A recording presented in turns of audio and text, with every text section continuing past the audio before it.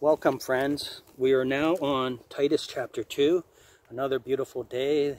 It's breezy, and yet we're in the shade and we're enjoying the warmth, but we're not too warm yet.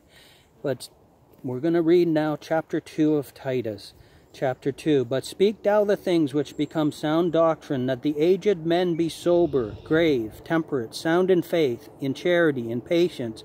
The aged women likewise, that they be in behavior as becometh holiness, not false accusers, not given to much wine, teachers of good things, that they may teach the young women to be sober, to love their husbands, to love their children to be discreet, chaste, keepers at home, good, obedient to their own husbands, that the word of God be not blasphemed.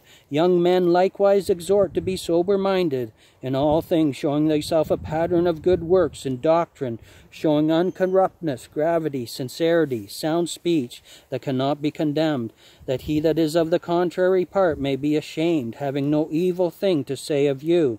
Exhort servants to be obedient unto their own masters, and to please them well in all things, not answering again, not purloining, but showing all good fidelity, that they may adorn the doctrine of God our Saviour in all things. For the grace of God that bringeth salvation hath appeared to all men, teaching us that denying ungodliness and worldly lusts, we should live soberly, righteously, and godly in this present world, looking for that blessed hope and the glorious appearing of the great God and our Savior Jesus Christ, who gave himself for us, that he might redeem us from all iniquity, and purify unto himself a peculiar people, zealous of good works.